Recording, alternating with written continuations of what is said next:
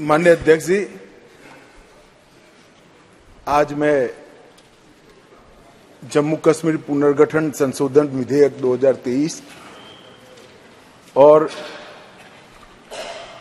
जम्मू कश्मीर आरक्षण संशोधन विधेयक 2023 इस पर इस सदन में जो बहस हुई है,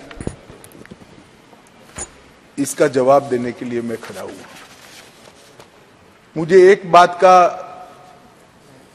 आनंद भी है और हमारी संसदीय प्रणालिका के लिए अच्छा भी है कि किसी ने इस बिल के तत्व का विरोध नहीं किया है। इस बिल के हार्द का विरोध नहीं किया। मान्यवर लगभग छह घंटा चर्चा चली और कांग्रेस के श्री अमर सिंह से लेकर अधीर रंजन जी तक 29 वक्ताओं ने अपने अपने तरीके से विचार व्यक्त किए। मगर बिल के उद्देश्यों के साथ बायन राज सभी ने सहमति व्यक्त की। ये मैं सभी का धन्यवाद करना चाहता हूँ। माननीय अध्यक्ष जी, मैं जो बिल लेकर आया हूँ, जो विधेयक लेकर इस महान सदन की सहमति प्राप्त करने के लिए मैं खड़ा हुआ हूँ। वो बिल सत्तर सालों से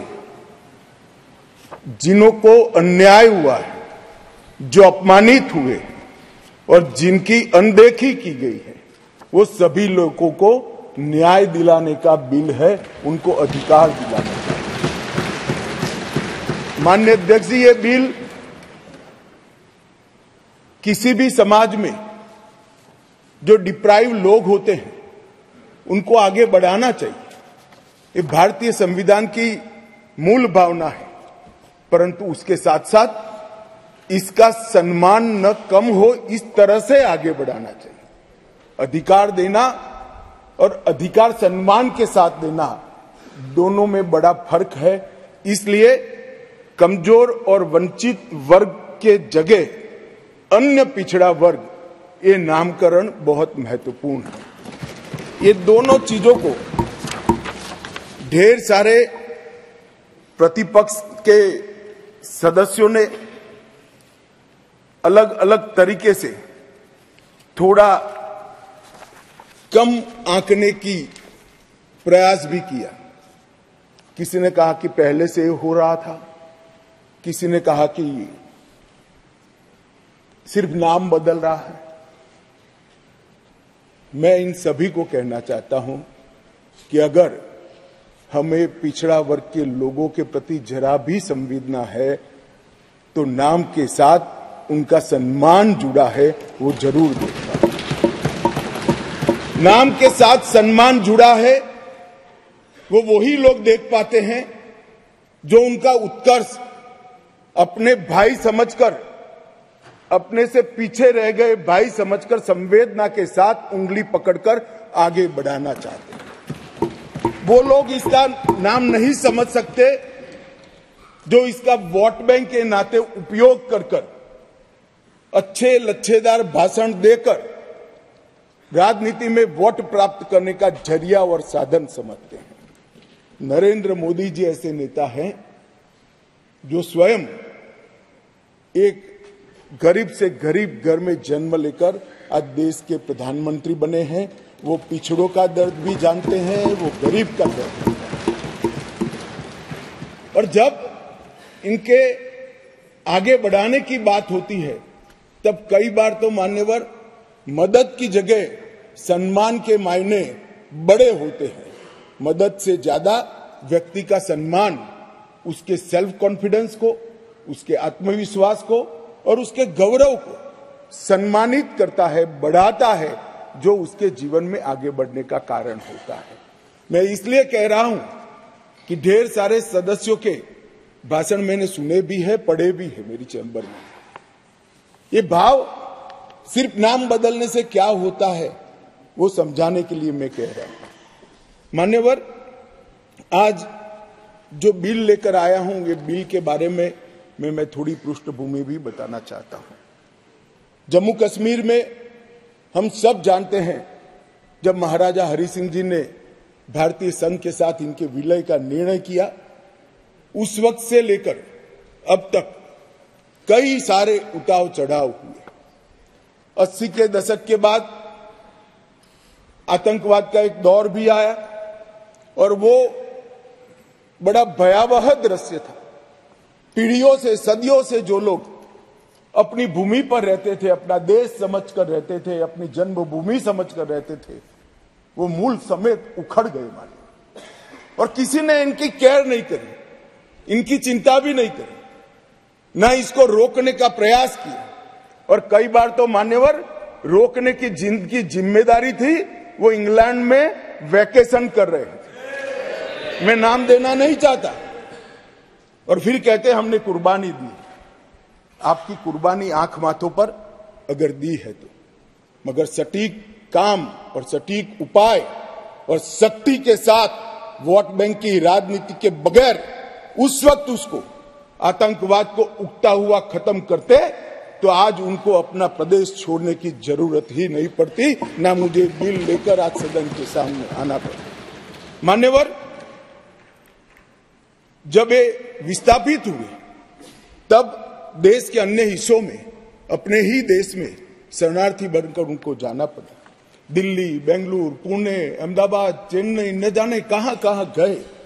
लगभग लगभग वर्तमान के आंकड़ों के अनुसार छियालीस हज़ार छह सौ इकतीस परिवार और एक लाख सत्तावन हज़ार नौ सौ सड़सठ लोग अपने ही देश में विस्थापित हो गए। और इस तरह से विस्थापित हुए कि उनकी जड़ें ही अपने खुद के देश से, अपने खुद के प्रदेश से, अपने खुद के वतन से उखड़ कर रह गई। ये बिल उनको अधिकार देने का है, ये बिल उनको प्रतिनिधित्व देने का मान्यवर, कश्मीर के लिए एक प्रकार से तीन युद्ध हुए। सैतालीस में पाकिस्तान ने कबालियों के नाम से आक्रमण किया। इसमें लगभग लगभग इकतीस हज़ार सात सौ उनासी परिवार पाक अधिकृत जम्मू कश्मीर से जम्मू कश्मीर में विस्थापित हुए। इनमें से 26,319 परिवार जम्मू कश्मीर में और 5,460 परिवार देश भर में फैल गए। वो पाकिस्तान के हमले के शिकार थे। इसके अतिरिक्त 1965 और 1971 में भी युद्ध हुए।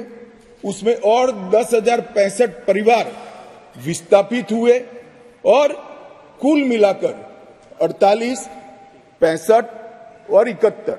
ये तीनों युद्धों में मान्यवर इकतालीस परिवार विस्थापित हुए। ये विस्थापितों की स्थिति के बारे में मैं बाद में बात करता हूँ। परंतु ये बिल है, वो उनको अधिकार देने का बिल है। ये बिल उनको प्रतिनिधित्व देने का बिल आज वो लोग ऐसी स्थिति में नहीं है कि वो चुनाव लड़कर वहाँ की असेंबली में बैठ पाए, जो कहते हैं, क्या हुआ धारा तीन सौ कहा हुआ पाँच और छह अगस्त पाँच और छह अगस्त 2019 में ये हुआ कि इनकी सालों से न सुनने वाली आवाज़ नरेंद्र मोदी जी ने सुनी और आज उनको अधिकार मिला। मान्यवर, जिस पाँच और छह अगस्त का बिल 2019 का कुछ लोगों को जूते में पड़े कंकर की तरह खटकता है, उनको मैं बताना चाहता हूँ, इसी बिल का हिस्सा था न्यायिक डिलिमिटेशन ये एक शब्द नहीं है। दो शब्द जोड़कर बना है। क्योंकि पहले जो डिलिमिटेशन हुआ था, वो इस तरह से था। एक कॉन्स्टिट्यूंसी यहाँ बनी है और दूसरा ये वो कॉन्स्टिट्यूंसी का हिस्सा पंद्रह किलोमीटर दूर है। क्यों? क्योंकि मुझे चुनाव जीतना है। इस तरह से डिलिमिटेशन हुआ।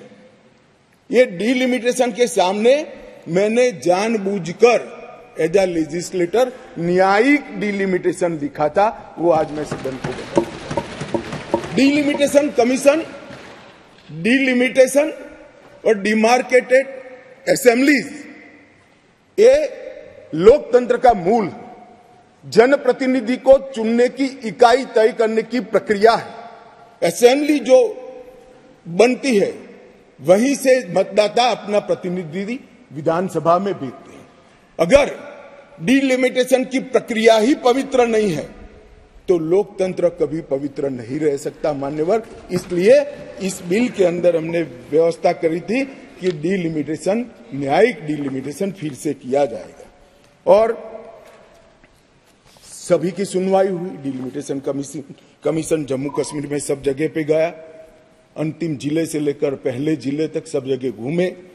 कई समुदायों ने कई समुदायों के प्रतिनिधियों ने इनको आवेदन पत्र दिए थे। पाक ऑक्यूपाई कश्मीर से आए हुए लोगों ने भी दिए थे और कश्मीर घाटी से भागकर जम्मू में शरण लेने वाले लोगों ने और कश्मीर घाटी से भागकर देश भर में फैले हुए कश्मीरियों ने भी आवेदन दिए थे कि हमारा प्रतिनिधित्व का कोई डिलिमिटेशन कमीशन संज्ञान ले। और मुझे आनंद है, मान्यवर कि डिलिमिटेशन कमीशन ने इसका संज्ञान लिया। भारत के इलेक्शन कमिश्नर ने। विधानसभा में दो सीटें कश्मीरी विस्थापितों के लिए नामांकन की जा सके और एक सीट अनधिकृत ऑक्यूपेशन जो हमारे कश्मीर का हिस्सा पाकिस्तान कर कर बैठा है, वहाँ से विस्थापित लोगों में से एक व्यक्ति को नॉमिनेट करना पड़े। ये इसका हाथ अब इसमें क्या है? पहले भी मिलता था, ना पहले नहीं मिलता था। पहले सिर्फ़ ज़रूरत लगे तो प्रतिनिधित्व तो न हो तो महिलाओं को दो सीट दी जाती थी। हमने तीन सीटें और अपॉइंट करने की डिलिमिटेशन कमीशन की जो सिफारिश है, उसको बिल में परिवर्तन कर कर कानूनी जामा पहनाकर आज मैं इस महान सदन के सामने उपस्थित हुआ हूँ। मान्यवर इसमें से दो सीटें काश्मीरी विस्थापितों के लिए होगी, जो घाटी से विस्थापित हुए हैं, और एक सीट पाक ऑक्यूपाई जम्मू कश्मीर के विस्थापित व्यक्तियों के लिए नामित की जाएगी। इसमें से एक महिला होना ज़रूरी है। इस प्रकार का एक कानूनी सुधार लेकर आज मैं यहाँ पर हुआ है। डिलिमिटेशन कमीशन के इतिहास में पहली बार नौ सीटें शेड्यूल ट्राइब के लिए आरक्षित की गई है, और एसटी के लिए नौ सीटें और अनुसूचित जाति और जनजाति के लिए बीस सीटों का आरक्षण की व्यवस्था करें। नई जो स्कीम बनी है उसमें जम्मू में पहले सैतीस सीटें थी, थर्टी सेवन सीटें थी। ये भी न्याय का सवाल है। जम्मू में पहले 37 सीटें थी, अब तैतालीस हुई है 43 हुई है। कश्मीर में पहले 46 थी, अब 47 हुई है। और पाक ऑक्यूपाई कश्मीर की 24 सीटें, क्योंकि वो हमारा है, हमने रिज़र्व रखी है मान्यवर 24 सीटों को इस तरह से पहले 107 सीटें जम्मू कश्मीर विधानसभा में थी, अब 114 सीटें हुई है। पहले दो नॉमिनेटेड मेंबर हुआ करते थे, अब पाँच नॉमिनेटेड मेंबर मान्यवर इसमें होंगे। जम्मू कश्मीर के कानून के हिसाब से दो महिलाओं को राज्यपाल द्वारा मनोनीत किया जाता है और धारा पंद्रह के अनुसार किया जाता है। और अब इसमें कश्मीरी प्रवासियों में से दो, जिसमें से एक महिला और पाक ऑक्यूपाई कश्मीर से एक नामांकन किया जाएगा। मान्यवर, ये इसलिए संभव हुआ है कि पाँच और छह अगस्त को ऐतिहासिक बिल नरेंद्र भाई ने कैबिनेट में पारित किया और इस सदन ने इसको परमिशन दी, इसको मान्यता दी और धारा 370 चली गई। इसी का हिस्सा था ये डिलिमिटेशन कमीशन। मान्यवर, सुरक्षा का परिदृश्य में इस पर बार में, बाद में बात करूँगा। ढेर सारे सदस्यों ने इसकी चिंता भी व्यक्त की है। मैं भी चिंतित हूँ, परंतु क्या हुआ है वो बताना, ये मेरा फ़र्ज़ है क्योंकि एक और से रिकॉर्ड पर चीज़ें आ गई है तो मुझे जवाब तो ज़रूर उसका देना पड़ेगा। और आज जो धारा 370 हटने के बाद क्या विकास हुआ? आतंकवाद तो अब भी चल रहा है। कश्मीरियत का कितना नुकसान हुआ? ये सारी चीज़ों के जवाब मैं बहुत डिटेल मान्यवर दूँगा। और ये दोनों जो संशोधन है वो संशोधन आने वाले दिनों में इतिहास इस सदन के इस प्रयास को और सदन के आशीर्वाद को हर कश्मीरी जो प्रताड़ित है, वो याद रखेगा। हर कश्मीरी जो पिछड़ा है, वो याद रखेगा कि नरेंद्र मोदी सरकार ने सत्तर सत्तर साल से दर दर की ठोकरे खाने वाले भटकते हुए अपने ही देश के भाइयों बहनों को न्याय दिलाने के लिए उनको दो सीटें का रिजर्वेशन दिया और अपना देश छोड़कर पाक ऑक्यूपाई कश्मीर से यहाँ शरणार्थी बने हुए लोगों को रिजर्वेशन दिया और जो डिप्राइव थे, उनको कमज़ोर लोग ऐसे अपमानित करने वाले शब्द की जगह पिछड़ा वर्ग का संवैधानिक शब्द इनके लिए रखकर आज ये बिल लगभग लगभग इन्होंने क्या कहा? कई सदस्यों ने पूछा कि क्या हुआ है इनके लिए? विस्थापितों के लिए क्या हुआ है? रिजर्वेशन देने से क्या होगा? रिजर्वेशन देने से उनकी आवाज़ कश्मीर की विधानसभा में गूंजेगी और फिर कोई ऐसी स्थिति करना जाएगा तो नहीं रोक, रोकेंगे क्योंकि उनकी आवाज़ वहाँ मान्यवर इसके अलावे पाँच हज़ार छह सौ पचहत्तर कश्मीरी विस्थापित परिवार आज रोज़गार पैकेज का फ़ायदा उठा रहे हैं। ऐसे कर्मचारियों के लिए छह हज़ार फ्लैट बनाने का प्रोजेक्ट था, जो नहीं समाप्त हुआ, चौदह से शुरू हुआ, मगर अब राष्ट्रपति शासन डालने के बाद लगभग लगभग 880 फ्लैट्स बन गए हैं। और उनको हैंडओवर करने की प्रक्रिया चालू है। इनकी ऑनलाइन शिकायत लेकर इसके निवारण का पोर्टल भी मान्यवर शुरू कर दिया गया है। और एक बहुत महत्वपूर्ण कानून, जो लोग कहते हैं, मैं कश्मीर के जो सांसद बैठे हैं, उनको विशेष रूप से कहना चाहता हूँ। क्या हुआ क्या हुआ, जो कहते हैं, इनको बताना चाहता हूँ। मान्यवर, जब आतंकवाद चालू हुआ निशाना बनाकर सबको भगाना शुरू हुआ। घड़ियाली आँसू बहाने वाले तो मैंने बहुत देखे। शब्दों से, अच्छे तरीके से सांत्वना देने वाले मैंने बहुत नेता देखे हैं, मगर नरेंद्र मोदी एकमात्र व्यक्ति ऐसा है जिन्होंने इनके आँसू सात अर्थ में पूछने का काम किया। मान्यवर, उनकी पीड़ा का हम कल्पना नहीं कर सकते।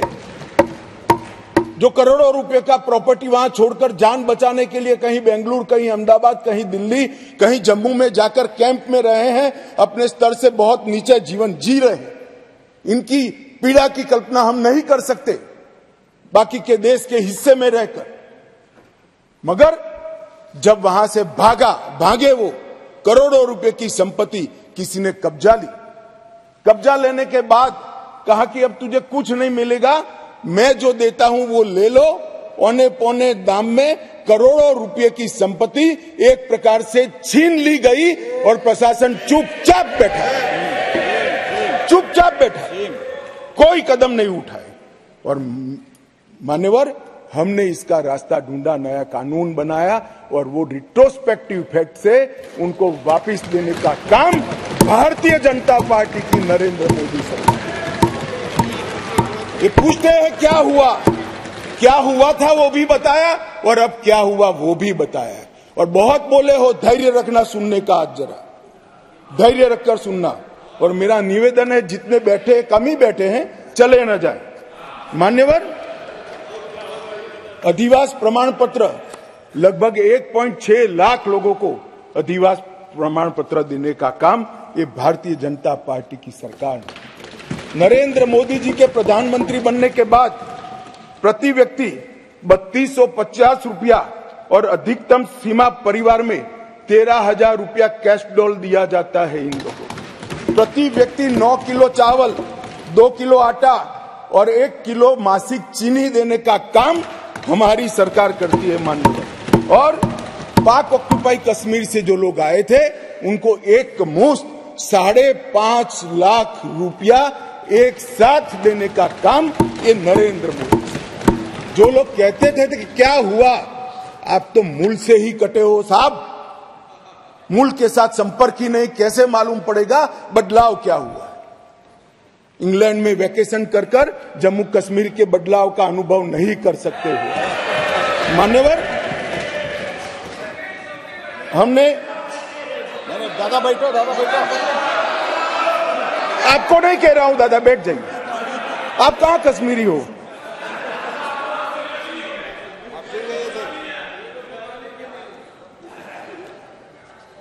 मान्यवर एक बैकवर्ड क्लास कमीशन बनाया गया। बहुत सहभागिता का अप्रोच बैकवर्ड क्लास कमीशन ने लिया। हितधारकों के साथ कई दौर का बैठक के किया। एक प्रतिनिधि मंडल और सोलह हज़ार लोगों को की सुनवाई हुई। 750 दिन ये प्रक्रिया चली।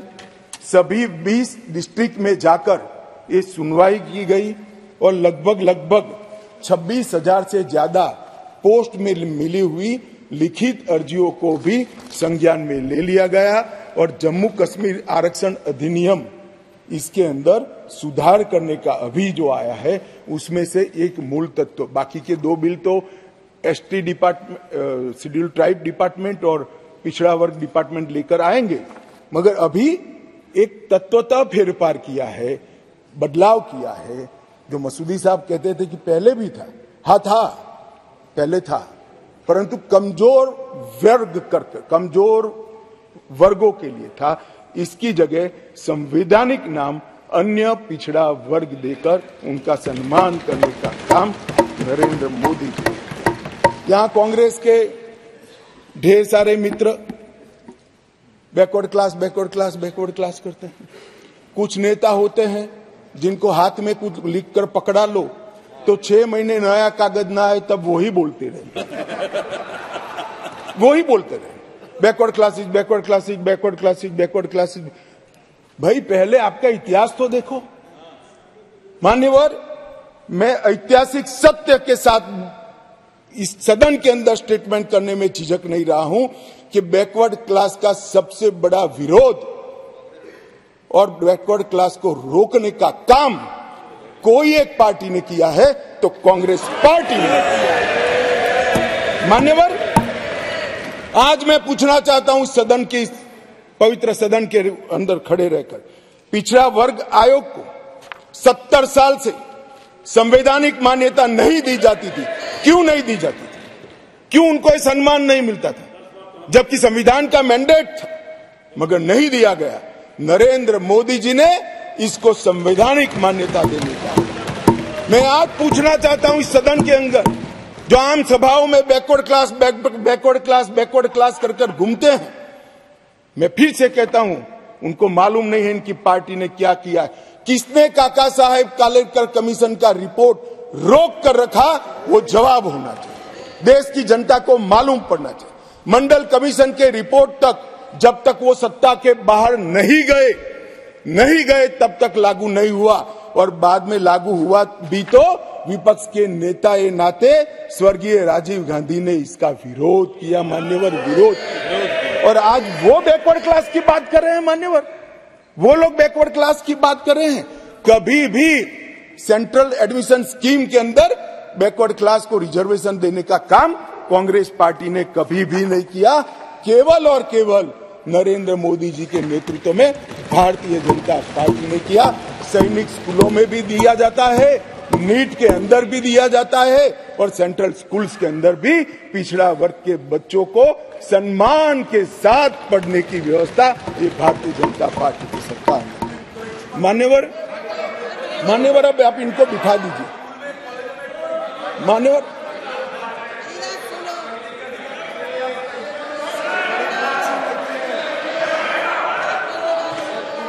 मान्यवर, अब तक डिप्राइव लोगों की बात करते अब तक ईडब्ल्यूएस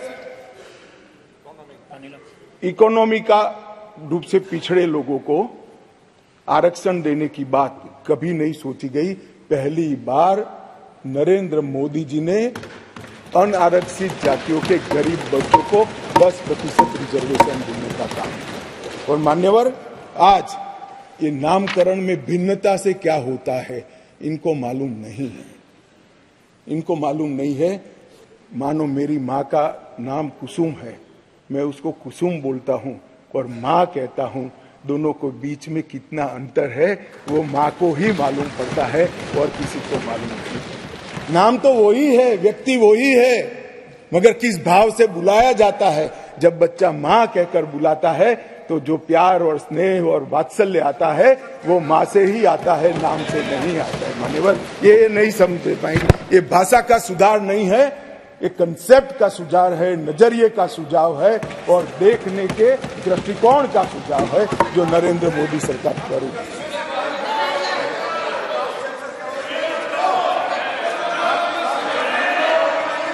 प्लीज़ प्लीज़। अरे यार अधीरंजन मैं एक बात कहता था कि एक नेता लिखा हुआ पढ़ते ही रहते पढ़ते। तुम भी वो स्क्रिप्ट पढ़ने लगे यार। ऐसा मत करो यार। अधीर रंजन जी ऐसा मत करिए आप माननीय विपक्ष के नेता है। मैं जरा भी पढ़ अरे आपके बारे में नहीं बोल रहे वे। मान्य जी रंजन जी आपके बारे में नहीं बोल रहे। प्लीज़। प्लीज़। मान्यवर मैं इनको बताना चाहता हूँ। आजकल करते करते मेरे 32 साल किसी न किसी सदन में हो गए। मैंने आज तक कभी पढ़ा हुआ लिखा हुआ भाषण पढ़ा नहीं। मैं मन की गहराइयों से बोलता हूँ। मेरे हाथ में जो कागज़ होता है, आंकड़ों और तथ्यों को रिफेयर करने के लिए होता है, क्योंकि मैं ज़िम्मेदारी के साथ यहाँ पर हूँ। मान्यवर, प्लीज़ प्लीज़ प्लीज़ मान्य सदस्य, प्लीज़ प्लीज़। मान्यवर, ये विधेयक ये विधेयक नरेंद्र मोदी सरकार ने, देश के प्रधानमंत्री नरेंद्र मोदी जी ने, देश में लाए हुए सैकड़ों सकारात्मक और परिवर्तनकारी, प्रगतिशील परिवर्तनों की कड़ी में एक और मोती जोड़ने का काम ये विधेयक करेगा। और इसलिए मैं आज इस सदन के आशीर्वाद मांगने आया हूँ। मान्यवर, कुछ सदस्यों ने बात के अंदर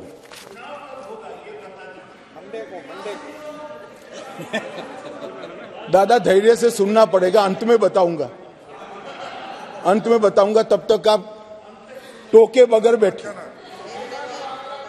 मान्यवर, कुछ कानूनी और संवैधानिक मुद्दे खड़े कर दिए पहले एक मॉरल बात लाए कि भाई जिस कानून के अंदर आप अमेंडमेंट लेकर आए हो, वो कानून ही कोर्ट के सामने चैलेंज में है। मसूदी साहब तो हाई कोर्ट के जज रहे, विद्वान न्यायाधीश रहे हैं। अधिवक्ता अच्छे ही होंगे, तभी तो जज बने होंगे। मैं उनको कहना चाहता हूँ, धारा 370 भी काफ़ी साल तक चैलेंज में रही। क्यों नहीं रोका उसको? जब चैलेंज में थी तो धारा 370 को क्यों नहीं रोका गया? और आज आपको कानून की मर्यादाएँ याद आ रही है। फिर भी मैं स्पष्टता करना चाहता हूँ। आपकी ही पिटीशन है, आप पिटिशनर हो इस पर स्टे मांगा गया था स्टे पर बहस हुई। न्यायाधीशों ने सुनवाई कर स्टे देने से इनकार किया। स्टे देने से स्टे देने से इनकार स्टे देने से इनकार किया। मैं बहुत रिस्पॉन्सिबिलिटी के साथ यहाँ बोल रहा हूँ। कोई स्टे नहीं है। कोई स्टे नहीं है। कहा कि हम समाज करेंगे एडमिट किया। जो एडमिट खुद ही होता है कि नहीं आज नहीं नहीं नहीं एडमिट होने से कुछ नहीं होता स्टे करना पड़ता है। ऑर्डर में स्टे करना पड़ता मान्यवर जब तक आप तो जज रहे साहब ऊपर वाले से तो डरिए फारूक साहब से इतना मत डरिए। मान्यवर मान्यवर पिटीशन एडमिट होने से को डराता नहीं। फिर भी डरते हैं बोलिए। मेरा काम डराना नहीं। आप लोगों का काम है डराना। हम डराते हैं। मान्यवर और मान्यवर। कहा है? उसका जवाब मैं आपके बाद दूँगा।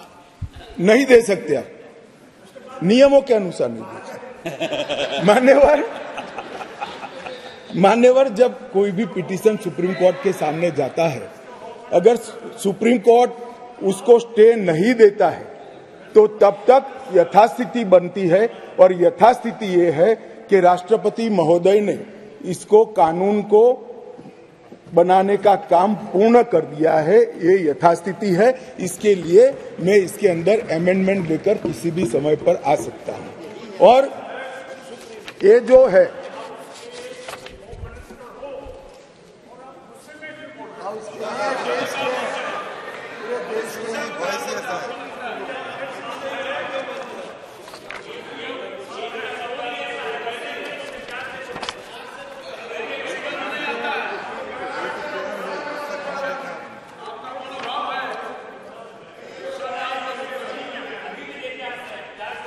मान्यवर? मान्यवर?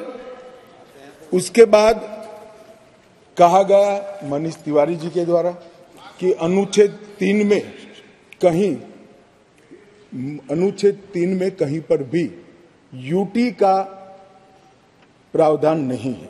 अब मैं मान्यवर, कोई कंफ्यूजन नहीं रहना चाहिए बहुत बड़ी बात मान्य सदस्य ने करी है। मैं अनुच्छेद तीन इस सदन में पढ़ना चाहता हूँ। नए राज्यों का निर्माण और वर्तमान राज्यों के क्षेत्रों, सीमाओं या नामों में परिवर्तन, ये अनुच्छेद का मूल चीज़ है। इसके अंदर आगे क, किसी राज्य में उसका राज्य क्षेत्र अलग करने अथवा दो या अधिक राज्यों को या राज्यों के भागों को मिलाकर अथवा किसी राज्य क्षेत्र को किसी राज्य के भाग के साथ मिलाकर नए राज्य का निर्माण देश की संसद कर पाएगी। अब इन्होंने कहा यूटी नहीं है। यूटी का इसमें प्रोविज़न है। मगर शायद उन्होंने पूरा पढ़ा नहीं या जानबूझकर आगे उन्होंने सदन को बताया नहीं। इसी के नीचे आर्टिकल थ्री के नीचे ही स्पष्टीकरण है। इस अनुच्छेद के खंड क से ड में जिसमें सारी चीज़ें आता है, राज्य के अंतर्गत संघ राज्य क्षेत्र समाहित है तो वहाँ पर राज्य मीन्स संघ राज्य क्षेत्र अपने आप हो जाता है तो ये इनको मैं मनीष जी को थोड़ा स्पष्टता करना चाहता हूँ कि इतना बड़ा गैरकानूनी काम कम से कम नरेंद्र मोदी सरकार नहीं कर सकती ये कोई इंदिरा गांधी की सरकार नहीं है जो इस प्रकार के कानून लेकर आए भाई अभी बहस नहीं हो सकती बाद में मैं आपको सवाल मैं बाद में आपको मौका दूँगा क्वेश्चन पूछने का अभी बैठ जाइए। मैं बाद में आपको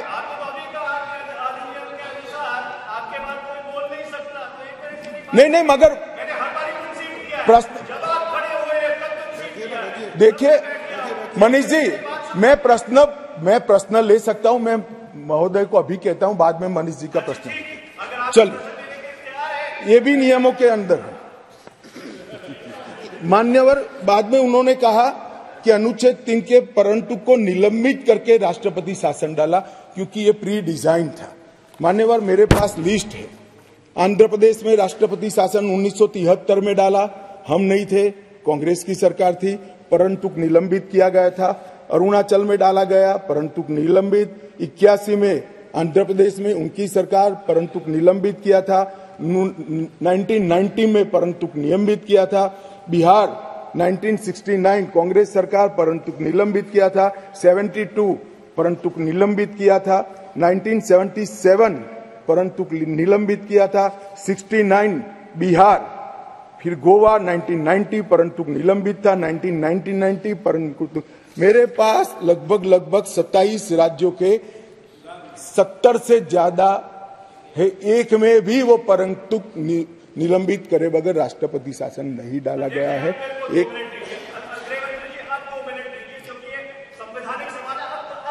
एक मिनट मानिए ऐसे टाइम तो मैं दूँगा ना प्लीज़ मान्यवर मैंने कहा उनको मैं जवाब सवाल पूछने दूँगा वो क्यों इतने विचलित हो रहे हैं?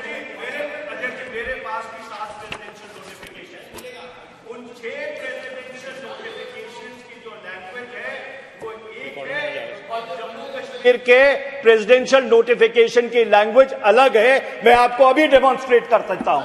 मैं अभी अभी बढ़ के सुनाता हूँ। मैं अभी बढ़ के सुनाता हूँ। एक पर बहस ही नहीं है लैंग्वेज क्या है? इस बहस इस पर है कि अनुच्छेद तीन के परंतु को जिसमें असेंबली का पावर यहाँ पर आता है उसको निलंबित किया गया है या नहीं किया एक लिमिटेड क्वेश्चन पर हम है। कहा है बात ही खड़ी होती है? नो माननीय अध्यक्ष जी मुझे संरक्षण दीजिए ऐसे नहीं हो सकता बिल का जवाब। नो माननीय गृह मंत्री जी। आपका रिकॉर्ड भी नहीं जा रहा है इससे माननीय गृह मंत्री जी। मान्यवर आप प्लीज़ मुझे व्यवस्था दीजिए ऐसे बिल का जवाब नहीं दिया जा सकता ऐसे महत्वपूर्ण बिल का। एक एक एक एक मिनट। नो माननीय मैंने आपको कहा, आपको सवाल पूछने का मौका दूँगा प्लीज़ माननीय गृह मंत्री जी।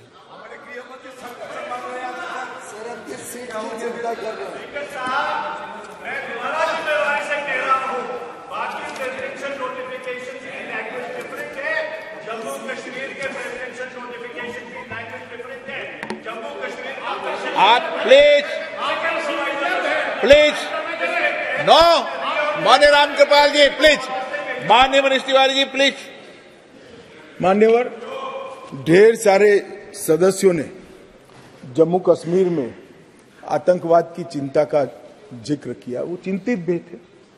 अच्छी बात है चिंता हो रही है, होनी भी चाहिए, सभी को होनी चाहिए।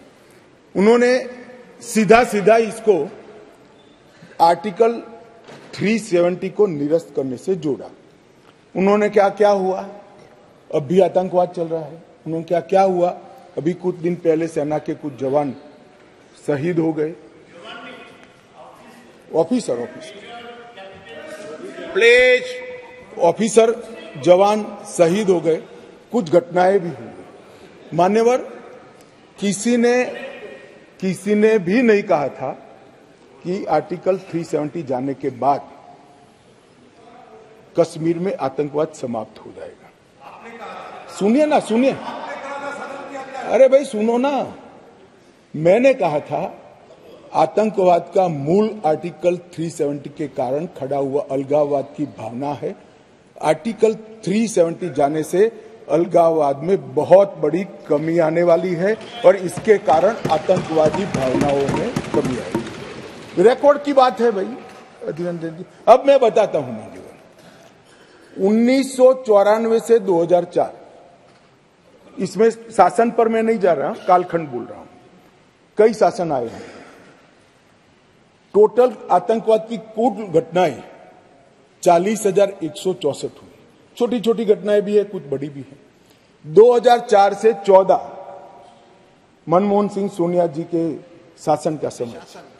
आतंकवाद की घटनाएँ 7,217 हुई 7,270 और नरेंद्र मोदी सरकार में 14 से 23 तक सिर्फ़ 2000 हुई। 70 परसेंट की कमी आई।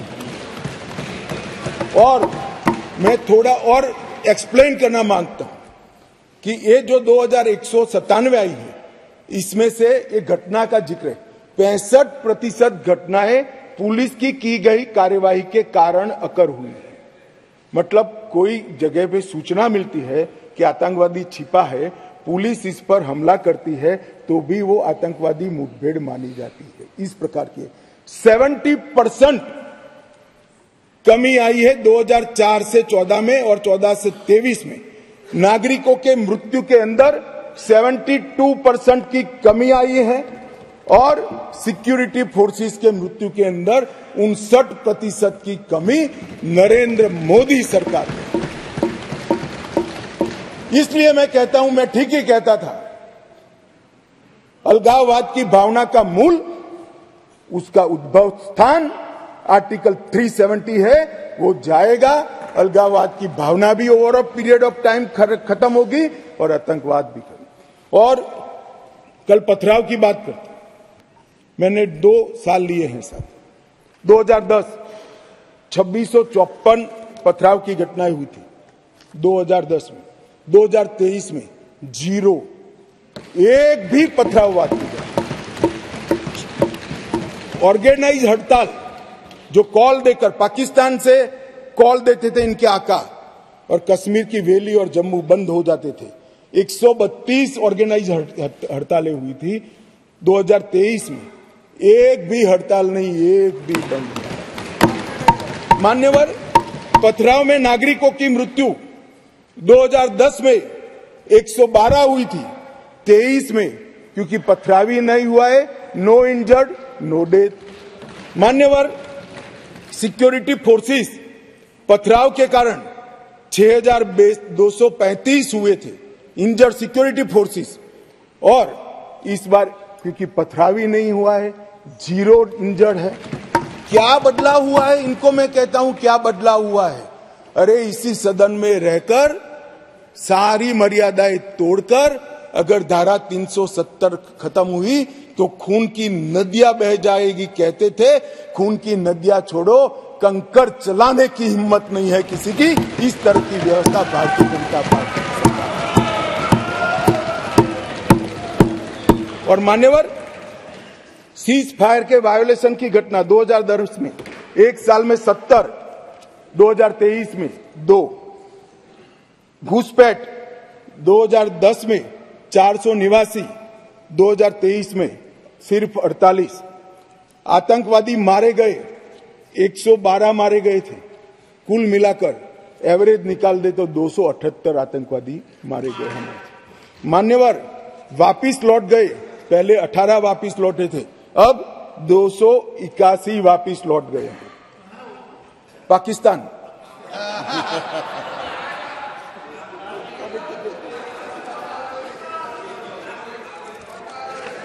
मान्यवर, और वो ऐसे ही नहीं हुआ है।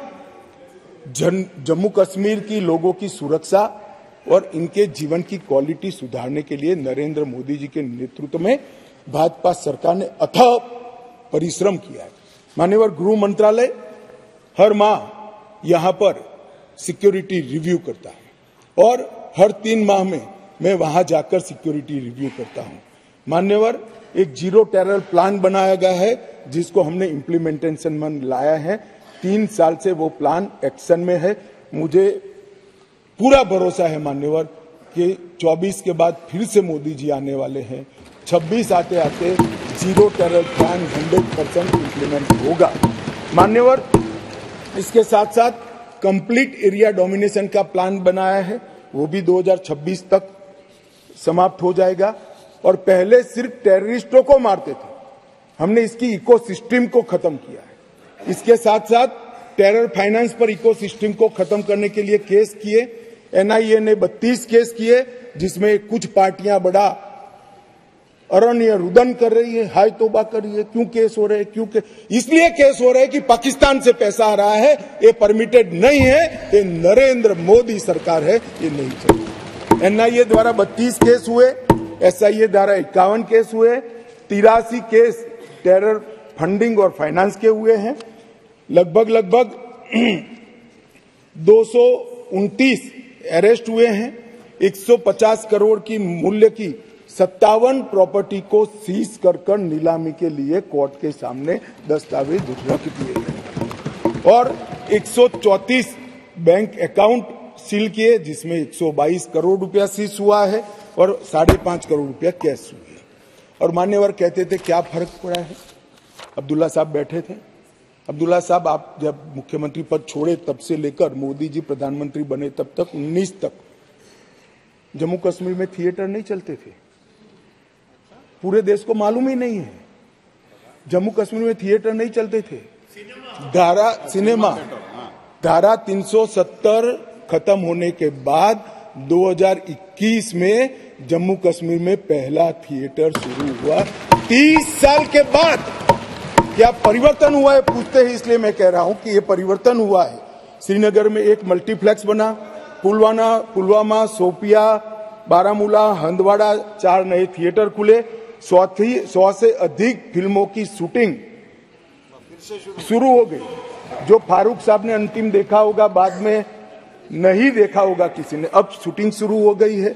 और लगभग लगभग सौ मूवी थिएटरों के लिए बैंक लोन के प्रस्ताव आज बैंक में पेंडिंग ये बता, ये मान्यवर इंडिकेटर है। थिएटर खोलने की स्थिति ही नहीं थी।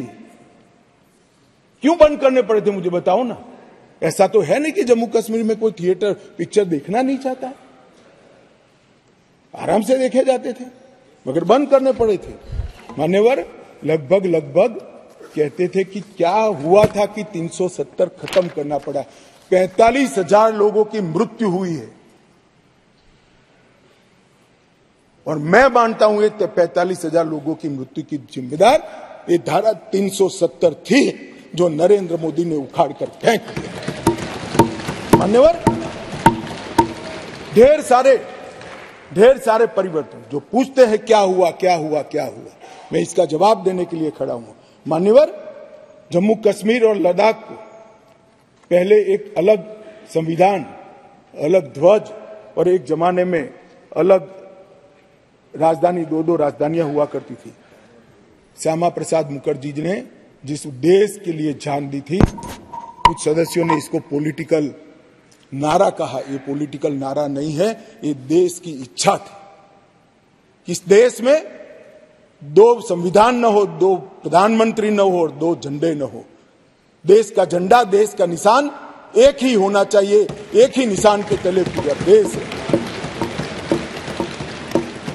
और कुछ सदस्यों ने कहा, हमसे वादा किया गया था, हमसे वादा किया गया था। वादा किससे किया था? अंग्रेज़ों ने जो स्कीम बनाई थी आज़ादी के वक्त, कांग्रेस ने जिस स्कीम को अप्रूव किया, उसमें पूरा अधिकार महाराजा का था। देश भर में कहीं तो पब्लिक को नहीं पूछा गया। क्यों जम्मू कश्मीर में पूछना? और मैं वादे की भी बात करता हूँ। चलो मान लेते हैं हमारे संविधान निर्माताओं ने वादा किया था, मगर आप आधा अधूरा पढ़ते हो, इसलिए कंफ्यूजन होता है। इसके अंदर थ्री आर्टिकल 370 के अंदर ऊपर टेम्पररी प्रोविज़न लिखा गया है। टेम्पररी का मतलब क्या होता है? आजीवन अधिकार हो गया। ना जी कब का जाना चाहिए था? हिम्मत नहीं थी। नरेंद्र मोदी जी ने हिम्मत करी और धारा 370 को समाप्त। कोई वादा खिलाफी नहीं। एक स्पिरिट जो संविधान का था कि आर्टिकल 370 टेम्पररी है, ये टेम्पररी का दिन ही नहीं आता था। मोदी जी ने 5 अगस्त को वो दिन ला दिया और टेम्पररी था, वो चला गया मान्यवर, पहली बार कश्मीरी, डोगरी, हिंदी और अंग्रेज़ी और उर्दू को राज्य की आधिकारिक भाषाएँ बनाई। मान्यवर राइट टू एजुकेशन एक्ट पहली बार उसकी चर्चा होगी तब बताऊँगा, बैठ जाइए। भूमि अधिग्रहण और मुआवजे का कानून forest right act SC ST prevention atrocity act whistle blower protection act juvenile justice act और अल्पसंख्यक आयोग अधिनियम 1992 ये रोक कर रखे थे, वो अब लागू हो गए। असेंबली वहाँ की छह साल की बना कर रखी थी, अब वो भी पाँच साल की हो गई और बड़े बदलाव हुए। मान्यवर, मैं आज कहना चाहता हूँ, हम भी गए थे, लाल चौक पर तिरंगा फहराने के लिए रोक दिया था। मोदी जी और हमारे उस वक्त के अध्यक्ष मुरली मनोहर जी गए और लाल चौक में तिरंगा फहराया था मान्यवर। तिरंगा फहराने के लिए जद्दोजहद करनी पड़ती थी। आज हर घर तिरंगा, घाटी का एक भी घर ऐसा नहीं था जहाँ पर तिरंगा न फैला मान्यवर, ये बदलाव आज लाल चौक में सारे धर्म के त्योहारों को रंग चंग के साथ मनाया जाता है और सारे धर्म के लोग पार्टिसिपेट करते हैं। बंधारण संविधान की स्पिरिट को अब नीचे उतारा गया है। ये जो पूछते हैं, क्या हुआ क्या हुआ क्या हुआ, मैं उनको जवाब देना चाहता हूँ। मान्यवर, मैं उनको जवाब देना चाहता हूँ। जब आर्टिकल 370 गया, उसके पहले जीएसडीपी एक लाख करोड़ था, सिर्फ़ एक लाख करोड़। आज दो लाख सत्ताईस हज़ार नौ सौ सत्ताईस करोड़ जीएसडीपी। सिर्फ़ पाँच साल में डबल, रोजगारी ढेर सारी बढ़ी। पहले चौरानवे डिग्री कॉलेज थे, मसूदी साहब। अब एक हो गई आईआईटी आईआईएम और दो एम्स दो एम्स सबसे पहला राज्य ऐसा है जहाँ दो एम्स दिए गए, वो हमारा जम्मू कश्मीर। मेडिकल कॉलेज पहले चार थे सत्तर साल में। सात नए मेडिकल कॉलेज बनाए गए, पंद्रह नर्सिस कॉलेज बनाए गए। मेडिकल सीट 500 थी। अब नई 800 सीटें जोड़ने का काम आर्टिकल 370 जाने के बाद हुआ है। तीन सौ सड़सठ पीजी की सीटें थी। उसमें नई तीन सौ सीटें जोड़ने का काम नरेंद्र मोदी सरकार ने किया है। और लगभग लगभग मिड डे मील छह लाख लोगों को मिलता था। अब नौ लाख तेरह हज़ार लोगों को मान्यवर मिड डे मील मिलता है। प्रधानमंत्री ग्राम सड़क योजना की एवरेज एक सौ अठावन किलोमीटर थी। अब आठ हज़ार आठ हज़ार अड़सठ किलोमीटर प्रति साल हो गई। क्या हुआ है जो पूछते हैं, इनको मैं बताता हूँ। मैं देता हूँ जवाब। मैं देता हूँ जवाब। मान्यवर, स्मार्ट सिटी मिशन पहले था ही नहीं, अब 173 काम हुए हैं। प्रधानमंत्री आवास योजना में 75 सत्तर साल में चौबीस हज़ार घर दिए गए थे। ये पाँच साल में एक लाख पैतालीस हज़ार लोगों को घर देने का काम नरेंद्र मोदी सरकार पचहत्तर साल में चार चार पीढ़ियों ने सात लाख बयासी हज़ार लोगों को पीने का पानी पहुँचा चुके थे। अब नए तेरह लाख परिवारों को पीने का पानी पहुँचाने का काम नरेंद्र मोदी सरकार ने किया। मान्यवर, शिशु मृत्यु दर 22 थी। वो कम होकर 14 पॉइंट तीस पर लाने का काम नरेंद्र मोदी सरकार ने किया है। और लगभग लगभग सैतालीस जन औषधि केंद्र थे। इसकी जगह दो सौ सताइस जन औषधि केंद्रों पर आज सस्ती दवाइयाँ वहाँ पर पाँच साल में मिल रही मान्यवर, स्पोर्ट्स में युवाओं की भागीदारी दो लाख से बढ़कर साठ लाख तक पहुँची है, क्योंकि अब खेल हो सकते हैं। मान्यवर, पेंशन के लाभार्थी में छह लाख से दस लाख तक पहुँचे हैं। ये सारा परिवर्तन केवल और केवल नरेंद्र मोदी सरकार ने आर्टिकल 370 जाने के बाद किया है। और जो राष्ट्रपति शासन को क्रिटिसाइज करते हैं उनको मैं बताता हूँ। हम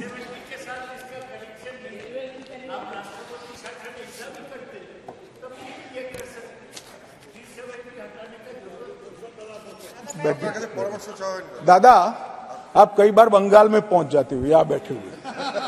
370 के कारण आतंकवाद घटा है।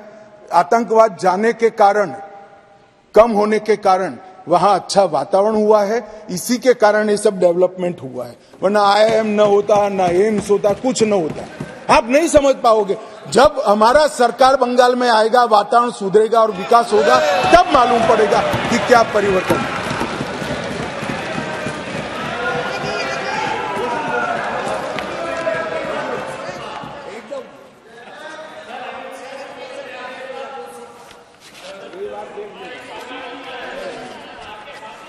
मान्यवर, प्रेमचंद्रन जी ने यहाँ से किसी सदस्य ने कहा, एक शब्द प्रयोग पर बहुत बड़ी आपत्ति की। मैं वो शब्द प्रयोग की अनुमोदन करने के लिए आज मेरी बात कहना चाहता हूँ। मैं वो शब्द प्रयोग को सपोर्ट करना चाहता हूँ। वो शब्द प्रयोग था नेहरूवियन ब्लंडर। नेहरू के समय में जो ब्लंडर हुआ था, इसके कारण कश्मीर को भुगतना पड़ा। मैं मान्यवर इस सदन में खड़ा रहकर आपके आसन के सामने ज़िम्मेदारी के साथ कहता हूँ कि दो बड़ी गलतियाँ जो पंडित जवाहरलाल नेहरू के प्रधानमंत्री काल में हुई, उनके लिए गए निर्णयों से हुई, इसके कारण सालों तक कश्मीर ने सहन करना पड़ा। एक सबसे बड़ी गलती, जब हमारी सेना जीत रही थी, जीत रही थी, पंजाब का एरिया आते ही सीज फायर कर दिया गया और पाक ऑक्यूपाई कश्मीर का जन्म हुआ। अगर सीज फायर तीन दिन लेट होता तो पाक ऑक्यूपाई कश्मीर आज भारत का हिस्सा। एक एक, ये चर्चा में करेंगे उस दिन। बैठ जाओ।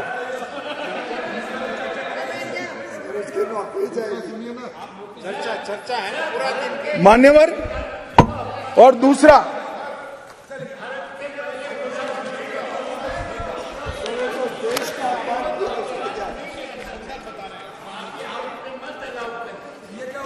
किसी का किसी का अपमान नहीं करे संदर्भ बता रहे हो तो। हिस्टोरिकल फैक्ट है बैठो। बैठ जाइए बैठ जाइए।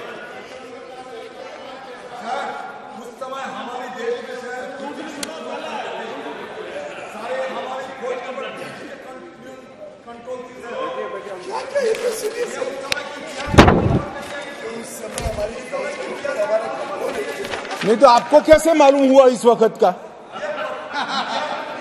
मान्यवर अभी तो एक ही का है दूसरा तो सुने। कंट्रोल नहीं था। बैठ जाओ बैठ जाओ।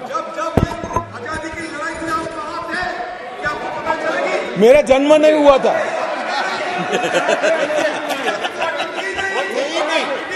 मान्यवर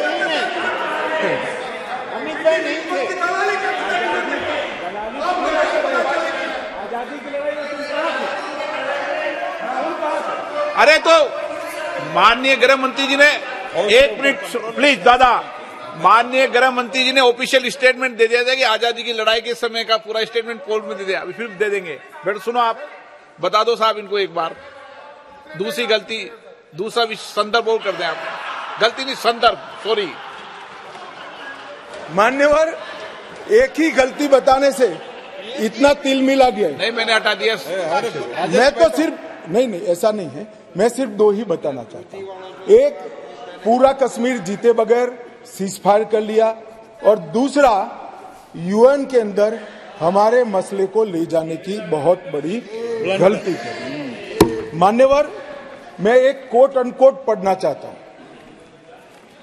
मैंने बहुत सावधानी से आपके द्वारा उठाए गए बिंदुओं को देखा। एक पत्र का हिस्सा है।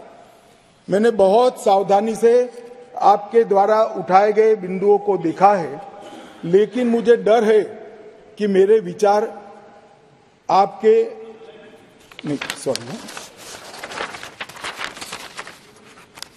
यूनाइटेड नेशन के अनुभव के बाद, मान्यवर यूनाइटेड नेशन के अनुभव के बाद मैं इस निष्कर्ष पर पहुँचा हूँ कि वहाँ से कुछ संतोषजनक नतीजे की उम्मीद नहीं की जा सकती।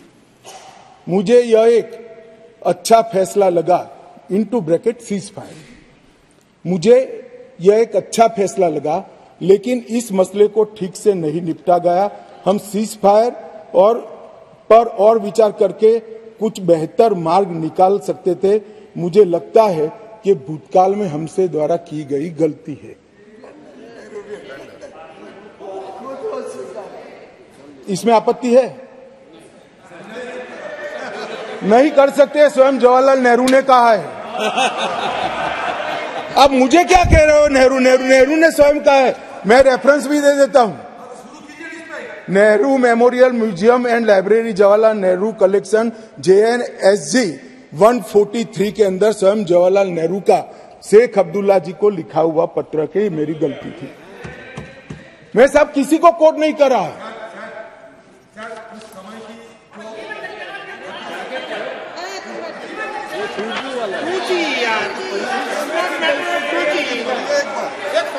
कम्युनिकेशन का मसला नहीं है।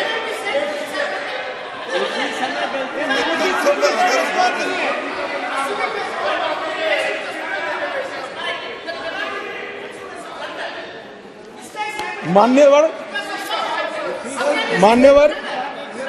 बोल रहे उसको बड़ा कांड हो गया देश की भूमि तुझे को लगता है सिर्फ़ मिस्टेक मान्यवर नहीं कर सकते मान्यवर सर ये सोचिए भूमि चली गई ये मिस्टेक बोलता है ब्लंडर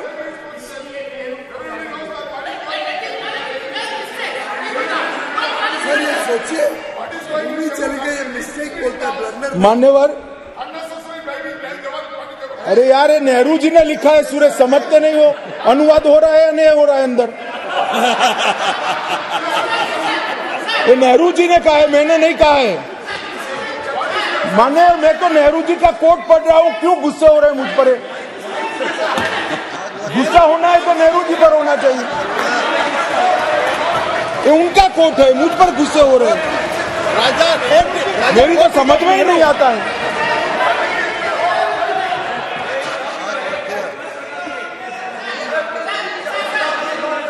मान्यवर ये खामखा मुझ पर गुस्से हो रहे हैं।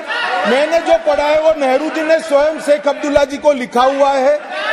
और गुस्से होना है तो जवाहरलाल नेहरू जी पर उनको होना चाहिए।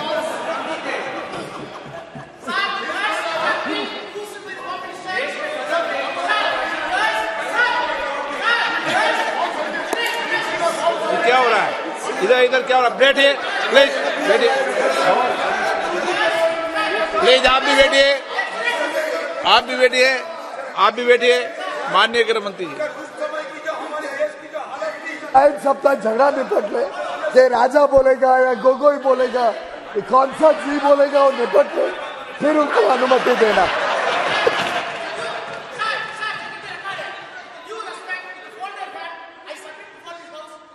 Home Minister, the words, the words, the words which are being used as against Nehru by the Home Minister are not at all matching to the stature of to the stature of Home Minister. माननीय गृह मंत्री okay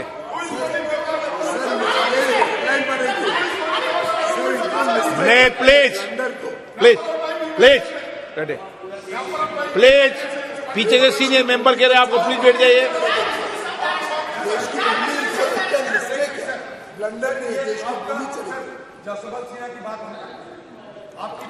की अरे आपने बोल लिया था ना जी का नहीं होता है जवाब। आपने बोल लिया था प्लीज़ अरे आपने कोट किया है बैठो अभी। माननीय गृह मंत्री जी आपका रिकॉर्ड में जा रहा बाकी रिकॉर्ड में जा रहा मान्यवर उस वक्त जब यूएन में मामला भेजना था तब भी निर्णय बहुत आनंद फानंद में लिया गया। मामले को संयुक्त राष्ट्र चार्टर के अनुच्छेद 35 की जगह इक्यावन के तहत ले जाना चाहिए था। मेरा तो मत है ले जाना ही नहीं चाहिए। मगर ले जाना था। तो इक्यावन के तहत ले जाना चाहिए था इसकी जगह 35 पर ले गए।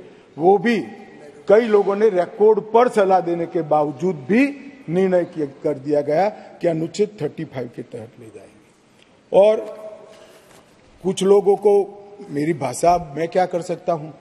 मैं तो इस देश की भाषा बोलता हूँ। मतलब इस देश की भाषा तमिल भी है हिंदी भी है बंगाली भी है मराठी भी है तेलुगु भी है। कन्नड़ भी है। कन्नड़ भी है। तो गुजराती भी कोई बोल सकता है। आप तमिल में भी बोल सकते हो मगर मैं हिंदी में बोलता हूँ आप अनुवाद ध्यान से सुनते नहीं हो। मैंने जो कुछ पढ़ा वो जवाहरलाल नेहरू जी ने लिखा है। और नेहरू जी ने उसको थोड़ा कम कर कर किया है कि ये मेरी मिस्टेक थी। मिस्टेक नहीं थी ब्लंडर था। इस देश की इतनी ज़मीन चली गई इस देश की इतनी भूमि चली गई वो ब्लंडर था।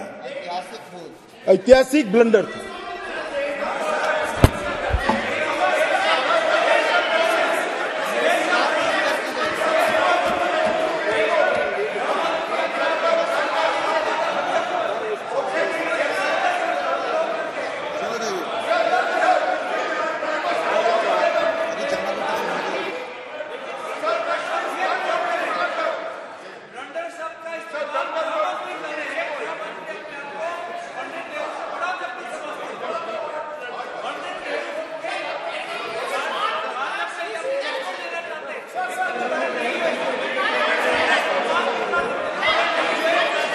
मान्यवर। माननीय सदस्य ये शब्दों की व्याख्या को समझो। प्लीज़ नो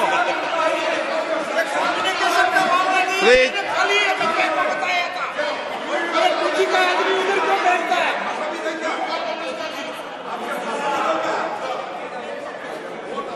मान्यवर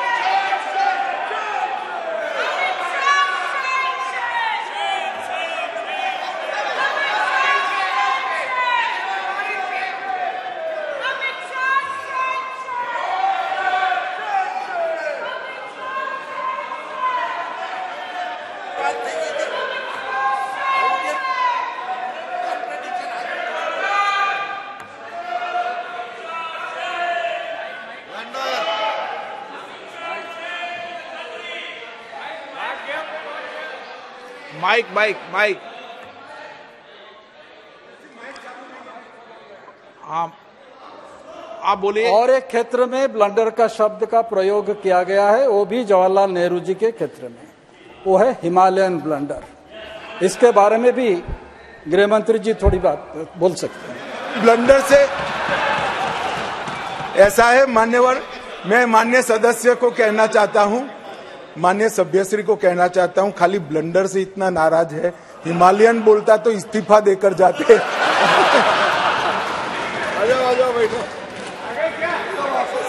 मान्यवर मान्यवर, मुझे अभी एक हमारी ट्रेजरी बेंच में बैठे हुए सदस्य ने कहा, मेरे साथी मंत्री ने कहा कि अमित भाई, उन्होंने सुबह बताया था आपको कि चले जाएँगे, आप पहले से कहते थे। मुझे कोई बताया नहीं। नहीं मेरी ऐसी बातचीत ऑफ़ द रिकॉर्ड कभी होती है।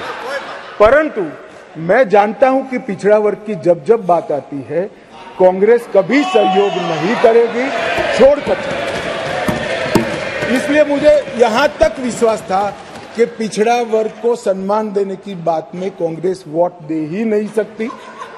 देने की ना उनको परमिशन है ना उनको मैंडेट है ना उनको इच्छा है। इसलिए वो चलेगी मान्यवर प्रधानमंत्री जी ने 2014 में अस्सी हज़ार करोड़ की लागत से तिरसठ परियोजना जो अब तक 70 साल तक कश्मीर को इग्नोर किया गया और समग्रता से कश्मीर के विकास के लिए बिजली, इंफ्रास्ट्रक्चर के प्रोजेक्ट इरिगेशन, एजुकेशन, मेडिकल सुविधाएँ, ये सभी चीज़ों को समाहित करती हुई तिरसठ परियोजना अस्सी हज़ार करोड़ की लागत से बनाई। इसमें लगभग लगभग नौ परियोजनाएँ इक्कीस हज़ार करोड़ की लद्दाख की थी, जो अब अलग यूटी में चली गई। परंतु जम्मू कश्मीर की बात करें तो बत्तीस परियोजनाएँ अट्ठावन हज़ार चार सौ सतहत्तर करोड़ की लगभग पूरी हो गई है और अट्ठावन हज़ार करोड़ में से पैतालीस हज़ार आठ सौ करोड़ रुपए का व्यय समाप्त ये मैं बताता हूँ, ये कह रहे कि क्या हुआ है इसके लिए। मैं कुछ योजनाओं का नाम भी ज़रूर पढ़ना चाहूँगा। पाँच हज़ार मेगावाट के लक्ष्य रखकर चार हज़ार बसो सत्तासी करोड़ की 642 मेगावाट की कीरू हाइड्रो परियोजना, क्वार हाइड्रो परियोजना 540 मेगावाट 5000 करोड़, रतले हाइड्रो परियोजना 5200 करोड़ 850 मेगावाट 8112 करोड़ की 1000 मेगावाट की सोपाक दल दूल हाइड्रो परियोजना, सावलकोट हाइड्रो परियोजना अठारह मेगावाट की दो हज़ार तीन सौ करोड़ की और शाहपुर कंडी बाँध सिंचाई और बिजली परियोजना दो हज़ार सात सौ तिरानवे करोड़ की। सिर्फ़ जल विद्युत के अंदर इतना सारा पैसा ये 10 साल के अंदर इन्वेस्ट हुआ है और पहली बार सौर ऊर्जा 1600 मेगावाट की प्राप्त करने के लिए भी प्रोजेक्ट वहाँ पर डाला गया अड़तीस ग्रिड स्टेशनों का निर्माण हुआ, चार सौ सड़सठ किलोमीटर नई ट्रांसमिशन की लाइनें बिछाई गई, दो उप स्टेशनों को बनाया गया और 11000 सर्किट किलोमीटर की एचटी और लोड एलटी लाइनों को बिछाने का काम नरेंद्र मोदी सरकार ने किया है। सिंचाई का जहाँ तक सवाल है, बासठ करोड़ की रावी नहर योजना पूरी कर ली गई, पैंतालीस करोड़ का टसर चलन तीन त्राल सिंचाई योजना का पूरा किया गया। झेलम और सहायक नदियों के बाढ़ प्रबंधन के लिए तीन सौ निन्यानवे करोड़ के तीसरे चरण का काम पूरा हो गया। 1632 करोड़ का दूसरे चरण का काम चल रहा है और चरण एक का काम पूरा होकर अड़तीस, इकतीस हज़ार आठ सौ क्यूसेक से बढ़कर इकतालीस हज़ार क्यूसेक की परिवहन की क्षमता आज परिवहन कर रही है। शाहपुर कंडी बाँध परियोजना भी पूरी हो गई है। जम्मू प्रांत की प्रमुख नहरों से, तीन पीढ़ियों से गाद नहीं निकाली गई थी। उनसठ दिन में ही राष्ट्रपति शासन लगने के बाद गाद निकालने का काम 70 साल के बाद पूरा हुआ है। रेल नेटवर्क का विस्तार हुआ है। तीन हज़ार एक सौ सत्ताईस करोड़ रुपये की अनुमानित लागत से 8.45 करोड़ की लंबी दी विन ट्यूब काजीकुंड बनिहाल सुरंग का निर्माण हो गया है। और लगभग लगभग 8000 किलोमीटर नए रोड ग्रामीण सड़क योजना के बना है। जम्मू कश्मीर के 10 शिल्प को जीआई टैग मिला। डोडा का गुच्छी मशरूम भी जीआई टैग मिला। आर एस पूरा के बासमती चावल को जैविक प्रमाण पत्र जारी किया गया और समग्र कृषि विकास के लिए पाँच हज़ार तेरह करोड़ की योजना की गई। पूरे देश में सिर्फ़ गरीब व्यक्तियों को पाँच लाख तक का स्वास्थ्य का पूरा खर्चा सरकार उठाती है साहब। पूरे देश में सिर्फ़ गरीबों का उठाती है। जम्मू कश्मीर में सभी व्यक्तियों का पाँच लाख तक का पूरा खर्चा आज सरकार हमने बहुत रुजुता के साथ, बहुत संवेदनशीलता के साथ जम्मू कश्मीर को संभालने का कहा है। जो लोग कह रहे थे, क्या हुआ? भारतीय जनता पार्टी का शासन आने के बाद अंतिम पर्यटक 14 लाख थे। अब 2022-23 में दो करोड़ पर्यटकों ने जम्मू कश्मीर का और जून में, जून 23 तक एक करोड़ समाप्त हो गया है। मुझे विश्वास है कि दो करोड़ का भाजपा सरकार, नरेंद्र मोदी सरकार का रिकॉर्ड नरेंद्र मोदी सरकार ही समाप्त हो इस दिसंबर में रिकॉर्ड जम्मू कश्मीर जो एक ऐसा गंतव्य स्थान बना है, जिसका वातावरण प्राकृतिक हो, मानांक वैश्विक हो, दृष्टिकोण आधुनिक हो आतिथ्य पारंपरिक हो, और अनुभव में मनोरंजन और रोमांच दोनों हो, इस प्रकार का एक पर्यटक स्थल आज बना है। होम स्टे की नीति बनी है, फ़िल्म की नीति बनी है, हाउस बोट के लिए भी एक पॉलिसी बनाने का काम कर रहा है।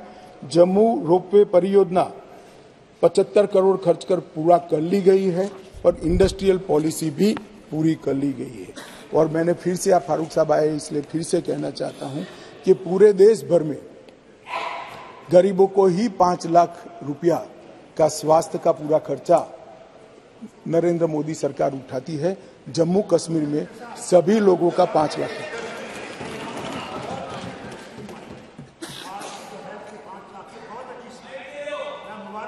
धन्यवाद। धन्यवाद साहब धन्यवाद।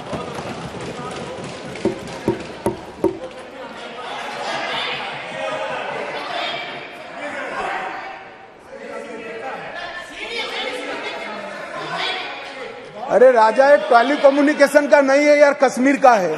काहे को खड़े हो जाते हो?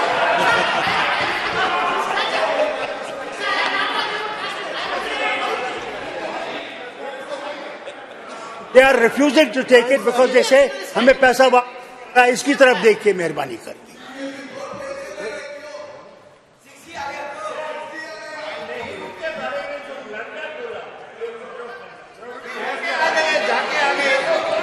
मान्यवर बैठिए दादा। आपके जाने के बाद एक मान्य सदस्य खड़े हुए। उन्होंने कहा, इसके लिए ब्लंडर ने हिमालयन ब्लंडर भी शब्द प्रयोग किया गया मान्यवर, अंत में अंत में मैं जो बिल लेकर आया हूँ, अंत में मैं जो बिल लेकर आया हूँ, वो सालों से जो वंचित थे, अधिकारों से वंचित थे, अपना देश, अपना प्रदेश, अपना घर, अपनी भूमि, अपनी जायदाद छोड़कर अपने ही देश में निराश्रित हो गए। ऐसे लोगों को अधिकार देने का, लेने का बिल है, जिनका देश ही छूट गया, ऐसे लोगों को अधिकार लेने का बिल है, और जो वर्षों से सम्मान से वंचित थे, ऐसे पिछड़ा वर्ग के लोगों को संवैधानिक शब्द अन्य पिछड़ा वर्ग से सम्मानित करने का ये बिल है। मैं अतः सदन से निवेदन करना चाहता हूँ कि मेरी पार्टी का आप ज़रूर विरोध करिए। प्रधानमंत्री जी की नीतियों का भी करिए, मेरा व्यक्तिगत तौर पर भी करिए, मगर बिल का उद्देश्य बहुत पवित्र है। कम से कम पिछड़ा वर्ग के लोग और हमारे विस्थापित हैं, उनकी ओर देखते हुए आप समर्थन करिए और उसको सर्वानुमत से पास